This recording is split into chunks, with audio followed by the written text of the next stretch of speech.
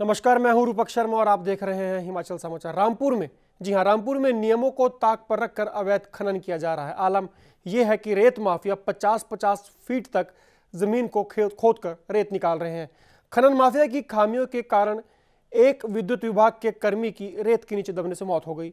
इस मौत के बाद किसान सभा ने सरकारी तंत्र पर आरोप लगाया है कि सरकार खनन माफियाओं को संरक्षण दे रही है। रामपुर में अवैध खनन का कारोबार जोरों पर है। खनन विभाग की मुस्तैदी के बावजूद भी अवैध खनन पर रोक नहीं लग पा रही है। खनन माफिया बड़ी बड़ी मशीनें लगाकर 50 से 80 फीट तक गहरी खाई खोदने में लगे हुए हैं और इसी कारण बिजली विभाग में कार्यरत रमेश कुमार की रेत में धंसने से मौत हो गई। अगर नियम के अनुसार खुदाई हुई होती तो रमेश दबने से बच जाता।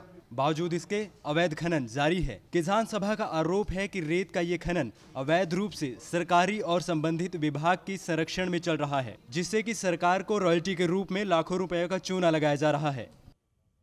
नियमों के जो दरकिनार करते हुए वहाँ पे जो घटना घटी है जो इसका जो हम जो है, क्या बोलते हैं, उसका विरोध करते हैं, जो इस तरह की जो घटनाएँ हैं, जो सरकार और प्रशासन को भी इसके ऊपर जो है, जो इस तरह के जो अवैध खनन हो रहा है, सरकार और विभाग को भी जिसमें जो है कि सख्त कानून कदम उठाने की ज़रूरत है ताकि जो इस तरह की जो आने वाले समय में जो है वो जो घटनाएँ ना घटें। गाँव के अंदर जो लोग जो मकान बना रहे हैं उनको भी जो रेट जो है आज के समय में महँगा मिल रहा है और दूसरा जो है और वहाँ पे जो जिसकी जो खा क्या बोलते जो वहाँ पे जो रेत की जो खान है वो भी जो सरकार को ना तो रॉयल्टी दे रहे और ना दूसरा जो है उनके बाद जो लाइसेंस होने चाहिए उसके ऊपर जो है सरकार और प्रशासन जो है कोई वो जो है उनके जो होना चाहिए उसके ऊपर जो कानूनी कार्रवाई नहीं कर नहीं कर शिमला किसान सभा के जिला अध्यक्ष बिहारी सेवकी का कहना है कि खनन नियमों की सरेआम उल्लंघना की जा रही है और रमेश कुमार की मौत के बाद भी नियमों को ताक पर रखकर अवैध खनन का कारोबार बदस्तूर जारी है।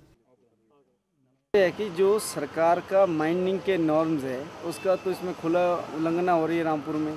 अब परसों का जो इंसिडेंट है, जिसमें एक आदमी की मृत्यु हो गई है रेत के नीचे दबने से। पहली बात तो ये है कि जो रेत की माइनिंग है, अगर वो प्राइवेट भी है, कि तो उसको लाइसेंस मिला है, उनको या नहीं मिला है, जो रॉयल्टी देनी है पंचायत को और सरकार को जो जानी है, वो नहीं दे रहे हैं, सिर्फ़ अपना मुनाफा कमा रहे हैं। तो जो उसके नॉर्म्स के वायलेशन है, उसमें सरकार को कदम उठाना एडमिनिस्ट्रेशन कदम उठाने की ज़रूरत है। जैसे एक पचास पचास साठ साठ फुट नीचे गहरा उसमें खोद दिया गया है, और वो नेचुरली उसमें इंसिडेंट होने हैं, जिसमें दो तीन केस ऐसे आए हैं दत्तनगर में, निरसू में ही। जहाँ पर मृत्यु हुई है। तो इसका हम कड़ा विरोध करते हैं और एडमिनिस्ट्रेशन से हमारा ये मांग है कि भी तुरंत कार्रवाई की जाए, जो इलीगल माइनिंग हो रही है। प्रशासन अवैध खनन के कारोबार पर अंकुश नहीं लगा पा रहा है और अब इस बेरोक टोक चल रहे अवैध खनन ने बिजली विभाग में तैनात रमेश कुमार की ज़िंदगी ली ली है। रामपुर से विशेष नेगी के साथ Subhash Chandra, day night news. और इस खबर पर ज़्यादा जानकारी के लिए बात करते हैं। रामपुर में मौजूद अपने संवाददाता विशेषर नेगी से। जी विशेषर जो शख्स मारा गया, वो बिजली विभाग का कर्मचारी था। वो आखिर इस अवैध खनन वाले इलाके की जद में कैसे आया? जी, वो इसी क्षेत्र में लाइन के काम को देख रहा था, ऐसा बताया जा रहा था।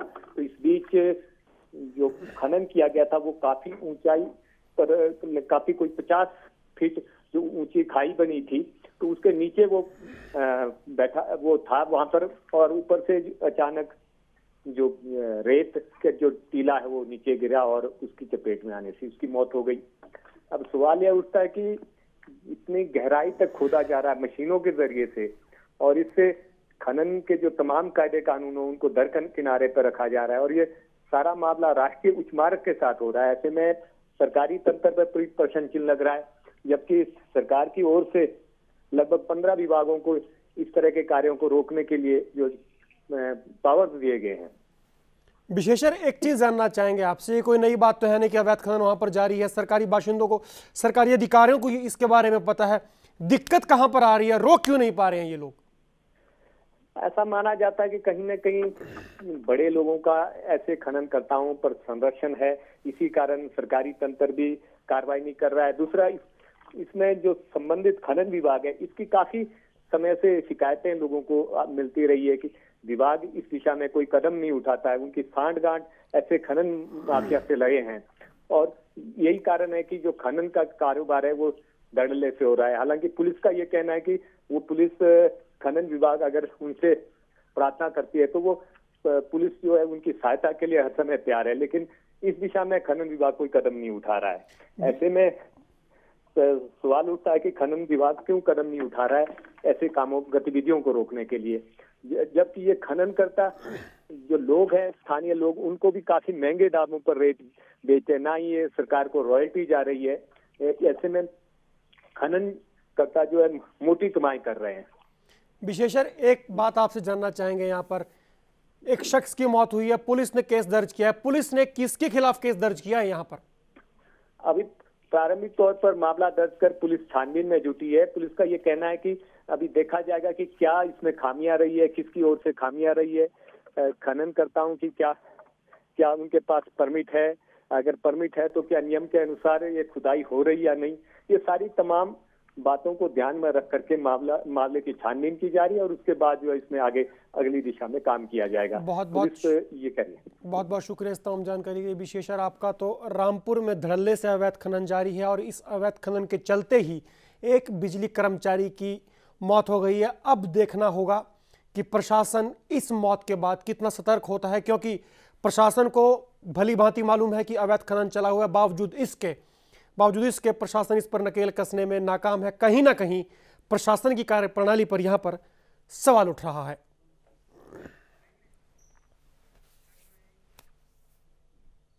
हिमाचल के बिलासपुर में एक किसान ने कर्ज नहीं चुका पाने के कारण खुद को आग लगा ली। आत्मदाह करने के बाद किसान को चंडीगढ़ के पीजीआई ले जाया गया, जहाँ उसने दम तोड़ दिया। मृतक किसान ने ग्रीन हाउस लगाने के लिए लाखों रुपए का कर्ज बैंक से लिया था। कर्ज वापस न कर पाने की वजह से वो काफ़ी दिनों से तनाव में चल रहा था। कर्ज में दबे किसान ने आत्मदाह कर लिया और ये हिमाचल का पहला मामला है जब किसी कर्जदार किसान ने इस तरह से खुदकुशी की है। पूर्व सैनिक कुशल चंदेल, जो कि भटेड़ के तहत सरनू गाँव का रहने वाला था, उसने पाँच छः साल पहले ग्रीन हाउस लगाने के लिए बैंक से कर्जा लिया था। बागवानी तकनीकी मिशन के तहत लगे ग्रीन हाउसों के लिए कर्ज कुशल चंदेल नहीं लौटा पाया। इसी की वजह से वो तनाव में चल रहा था और जिसके बाद उसने खुद को आग लगाकर आत्महत्या कर ली। कदम उठाने के पीछे कारण है कि इन्होंने एसबीआई बैंक से लोन लिया था ग्रीन हाउस लगाने के लिए। और जो हॉर्टिकल्चर डिपार्टमेंट है, उन्होंने सही गाइडेंस नहीं करी इनको कि साइट कैसी होगी, कैसी नहीं होगी। सही टाइम पे सब्सिडी नहीं मिली। और जो एसबीआई बैंक है, उन्होंने भी इनके बारे में कुछ गलत इश्तहार दिए थे अखबारों में। और अपने बैंक में भी नोटिस बोर्ड में फ़ोटो लगाई थी कि ये बैंक किस्त वापस करने के लायक नहीं है जिससे ये काफ़ी परेशान थे पिछले उस टाइम से। मतलब हरासमेंट टाइप थी इनको बहुत ज़्यादा उस, उस वजह से। जब किसानों को वो जो लोन देने शुरू किए व्यवसायिक जबकि ये एग्रीकल्चर लोन थे ये चार परसेंट के ऊपर होने चाहिए थे तो ना सरकार की तरफ़ से कोई पहल हुई ना बैंकों की तरफ़ से पहल हुई वो जो लोन के दबे, तले दबे हुए थे, उसके अंदर सबसे बड़ी बात ये थी कि एक तो बैंक उनको प्रेशराइज कर रहा था और बैंक ने नोटिस बोर्ड में बड़े बड़े उनके फ़ोटो लगाए थे जिसकी कॉपी हमारे पास अवेलेबल है। प्रदेश के अंदर डेढ़ हज़ार से ज़्यादा किसान परिवारों ने पॉली हाउस का निर्माण किया और उनमें से करीब 400 के लगभग जिला बिलासपुर के अंदर पॉली हाउस बने हैं। जो आज से छः वर्ष, करीब छः वर्ष पहले बने थे। और सबसे बड़ी विडंबना ये है किसानों के साथ कि विभाग ने किसानों को इनका निर्माण करते वक्त कतई भी गाइड नहीं किया। और इस खबर पर बात करते हैं। बिलासपुर में मौजूद अपने संवाददाता विजय भारद्वाज से। जी विजय, काफ़ी दुखद मामला है और ये अपने आप में पहला मामला है हिमाचल प्रदेश में जब किसी किसान ने खुदकुशी की है। जी रूपक मैं बताना चाहूँगा, जिस तरह से लगातार देश में जो हम कहे, कर्ज के चलते जो है किसान आत्महत्या करते हैं। वहीं तो हिमाचल प्रदेश में एक पहला ऐसा मामला सामने आया, जब एक किसान ने जो लोन लिया था, उसका कर्ज नहीं चुका पाया, जिसके चलते डिप्रेशन में रहते हुए उसने अपने आत्महत्या कर लिया है, आत्महत्या कर ली है। जी, मैं बताना चाहूँगा, बिलासपुर के बटेट गाँव के रहने वाले पूर्व सैनिक कुशल चंदेल ने लगभग पाँच पहले जो एक ग्रीन हाउस प्रोजेक्ट के तहत जो है, लाखों रुपए का लोन जो है बैंक से लिया था। क्योंकि मैं आपको इसकी जानकारी देना चाहूँगा, जिस तरह ग्रीन हाउस प्रोजेक्ट जो है, वो बागवानी तकनीकी मिशन के तहत चलाया जाता है, जिसमें किसानों को जो है कम ब्याज देना पड़ता है और साथ में उनको सब्सिडी भी दी जाती है। लेकिन स्थिति ऐसी हो गई कि जो सब्सिडी है, वो इस पूर्व सैनिक जो हैं, किसान हैं, इनको नहीं मिल पाई और जब वो सब्सिडी मिलने तक, जो लोन की जो कीमत थी, वो काफ़ी बढ़ गई थी, जिसको वो चुका नहीं पाए। साथ में एक बात और सामने आई है कि जिस तरह से इस प्रोजेक्ट के तहत जो है किसानों को के एक धारा के तहत जो है ब्याज दर जो होती है, न्यूनतम ब्याज दर पे जो है लोन दिया जाता है। लेकिन इनसे जो बैंक ने ब्याज दर इनके ऊपर लगाई है, वो कॉमर्शियल रेट पे लगाई थी, जो काफ़ी ज़्यादा थी, लगभग पंद्रह परसेंट थी। जो देने में ये नाकामयाब रहे, उसके बाद काफ़ी डिप्रेशन में रहने लगे। उसके बाद बैंक ने जो है, इनको एक उनके खिलाफ एक नोटिस बोर्ड पर सूचना भी जारी कर दी कि ये डिफॉल्टर है और जो पेमेंट नहीं दे पा रहे हैं, कर्ज की जो राशि है वो नहीं चुका पा रहे हैं, जिससे ये काफ़ी डिप्रेशन में रहने लगे थे और लास्ट में उन्होंने केवल अपने आप को आत्मदाह करके आत्महत्या कर ली। जी, रिपोर्ट जी। बहुत बहुत शुक्रिया इस तमाम जानकारी के लिए, विजय। तो हिमाचल में ये पहला मामला अब तक हम सुनते थे कि कर्ज में दबे होने के कारण महाराष्ट्र और पंजाब के किसान ही आत्महत्या कर रहे थे, लेकिन हिमाचल प्रदेश में ये पहला मामला है जहाँ पर कर्ज में दबे किसान ने आत्मदाह किया। उन्हें आत्मदाह के बाद चंडीगढ़ पीजीआई लाया गया था, लेकिन वो सरवाइव नहीं कर पाए, जहाँ उन्होंने दम तोड़ दिया।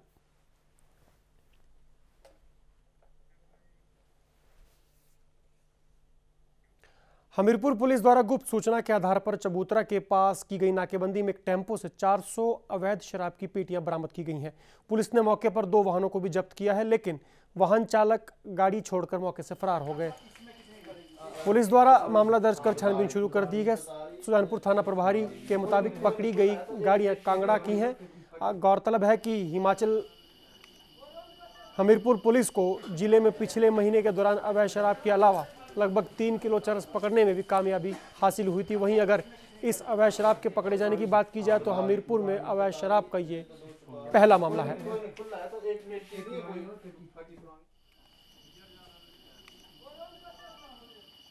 सीआईडी इकाई हमीरपुर ने अमरो चौक पर नाका लगाया हुआ था। तो उसी नाके के दौरान एक गाड़ी नंबरी एच पी तिरवंजा, सतासी पचवंजा, जो टेंपो ट्रक है, उसको जब रोकने के लिए इशारा किया तो उसके आगे एक गाड़ी और कार एच पी सैंती भूंजा सौ, उसको स्कोर कर रही थी और उन्होंने वहाँ से गाड़ी भगा ली। उसके बाद हमें शक हुआ कि इस गाड़ी में कुछ ना कुछ मादक पदार्थ वगैरह हो सकते हैं। तो हमने इस गाड़ी का पीछा किया और एक गाँव गौड़ू रनौत के पास गाड़ी को रोका और वहाँ गाड़ी को चेक किया तो उसमें देसी शराब की 400 पेटी पाई गई। सोलन ज़िले के औद्योगिक क्षेत्र नालागढ़ के खेड़ा गाँव में सिद्धार्था फैक्ट्री के सामने एक तेज रफ्तार ट्रैक्टर अपना संतुलन खो बैठा और साथ लगते खेतों में पलट गया। ट्रैक्टर के जुड़े वाटर टैंकर के नीचे आने से ट्रैक्टर ड्राइवर की मौके पर ही मौत हो गई। पुलिस ने मामला दर्ज कर कार्रवाई शुरू कर दी है और शव का पोस्टमार्टम करवाकर उसे परिजनों को सौंप दिया है। मृतक की पहचान बाईस साल के कुलभूषण के तौर पर हुई है।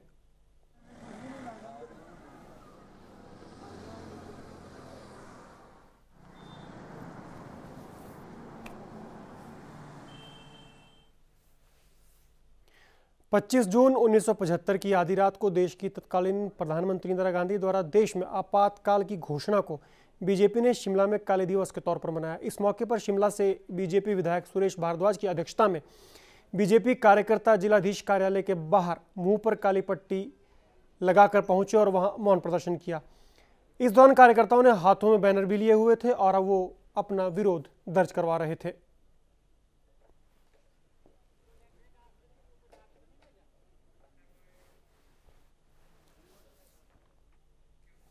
उधर रूसा सिस्टम के खिलाफ अब सभी छात्र संगठन एक हो गए हैं। नाहन कॉलेज परिसर में एसएफआई, एबीवीपी और एनएसयूआई ने मिलकर धरना प्रदर्शन किया और कॉलेज प्रशासन के खिलाफ जमकर नारेबाजी की। इन छात्रों की मांग है कि कॉलेज प्रशासन रूसा सिस्टम को जल्द वापस ले क्योंकि इससे छात्रों को भारी परेशानियों का सामना करना पड़ रहा है। छात्रों का कहना है कि सरकार रूसा सिस्टम को लागू तो कर रही है लेकिन सरकार के पास इसे लागू करने के लिए कोई भी सुविधा मौजूद नहीं है। ऐसे में रूसा को लागू करना उचित नहीं है। नौबत यहाँ तक पहुँच गई है कि छात्रों को कॉलेज में दाखिला तक नहीं मिल पा रहा है।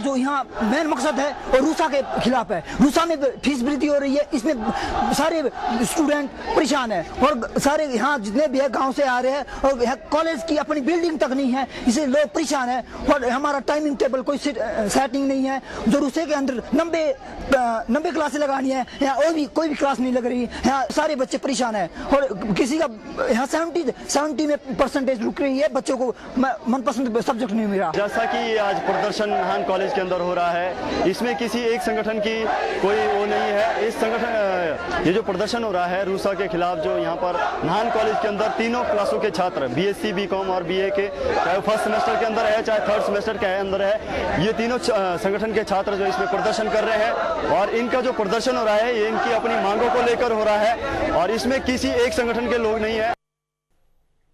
हिमाचल के नौ जिलों की महिला स्वास्थ्य कार्यकर्ताओं के लिए सिरमौर जिला मुख्यालय नाहन में आयोजित प्रमोशनल ट्रेनिंग संपन्न हो गई। ट्रेनिंग के दौरान स्वास्थ्य कार्यकर्ताओं को फ़ील्ड विज़िट भी करवाए गए और हेल्थ सुपरवाइजर के हर काम से रूबरू कराया गया ताकि ये सही ढंग से काम कर सके। इस ट्रेनिंग के बाद इन स्वास्थ्य कार्यकर्ताओं को हेल्थ सुपरवाइजर के पद पर नियुक्त किया जाएगा। प्रदेश सरकार द्वारा इन सभी कार्यकर्ताओं को प्रदेश भर में उन जगहों पर नियुक्त किया जाएगा जहाँ पर हेल्थ सुपरवाइजर के पद खाली हैं। इस ट्रेनिंग में कुल उन्नीस स्वास्थ्य कार्यकर्ताओं ने हिस्सा लिया, जिन्हें अब विभाग द्वारा प्रमोट किया जाएगा।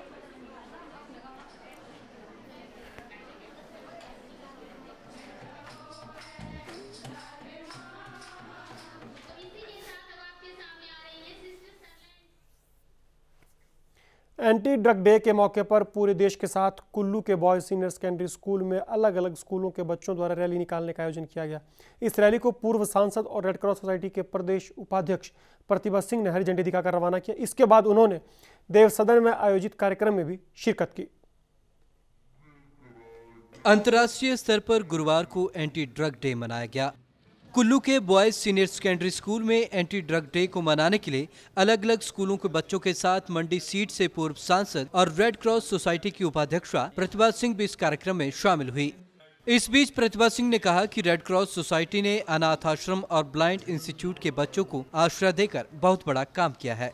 उन्होंने कहा कि प्रशासन द्वारा इन बच्चों को हर संभव सुविधाएँ आगे भी उपलब्ध करवाई जाएँगी। सोसाइटी, कुल्लू समाज के लिए बहुत काम कर रही है और मैं समझती हूँ कि इसमें जो इन्होंने ये एक पहल की है अपने अनाथ आश्रम और ब्लाइंड इंस्टीट्यूट के को अडॉप्ट करके रेड क्रॉस के द्वारा जो वहाँ बच्चों को मदद मिलेगी, उसके लिए मैं इनका बहुत बहुत आभार प्रकट करती हूँ इनका धन्यवाद करती हूँ कि इन्होंने अपनी गतिविधियों को बढ़ाया और इसमें हमारे अनाथ बच्चों को भी लिया है, जो अंधे बच्चे हैं उनको भी लिया है और हम रेड क्रॉस से जितना भी हर संभव प्रयास होगा, इनकी मदद हम इसमें एंटी ड्रग डे पर कुल्लू के एसपी सुरेंद्र वर्मा ने लोगों से नशे से दूर रहने की अपील की। सुरेंद्र वर्मा ने कहा कि पहले लोग नशे को शौकिया तौर पर करते थे, फिर उसके बाद आदि हो जाते हैं। हम ना तो नशा करेंगे, ना ही अपने किसी साथी को, अपने किसी रिश्तेदार को, अपने किसी सहयोगी को नशा करने देंगे और उसकी खेती करने देंगे, ना ही उसका व्यापार करने देंगे। और यदि कोई इस तरह का काम करते हुए, इस तरह की एक्टिविटीज़ गतिविधियों में इन्वॉल्व पाया गया। जिस किसी को भी इसकी सूचना हो, जिस किसी को भी इसकी जानकारी हो, वो तुरंत जिला पुलिस में, जिसका कंट्रोल रूम है हमारे पास, जिसका नंबर हंड्रेड नंबर है, हमेशा राउंड द क्लॉक के नंबर चलता है, उसमें सूचित करें। इंटरनेशनल एंटी ड्रग डे के मौके पर देश भर के अलग अलग हिस्सों में छात्र छात्राओं ने रैलियाँ निकाली। और संदेश दिया कि नशे को रोकने के लिए किस तरह से समाज की भागीदारी बेहद ज़रूरी है। कुल्लू से मनविंदर अरोड़ा के साथ Vivek Sharma day and night news. तो हिमाचल समाचार में बस आज बस इतना ही लेकिन आपसे कल फिर होगी मुलाकात। तब तक दीजिए इजाज़त। नमस्कार। खबरों की दुनिया में आइए। हमारे साथ कहीं भी और कभी भी जुड़िए। हम मिलेंगे फेसबुक पर हम दिखेंगे यूट्यूब पर। हमें फॉलो कीजिए ट्विटर पर। खबरों के साथ बने रहिए रात दिन।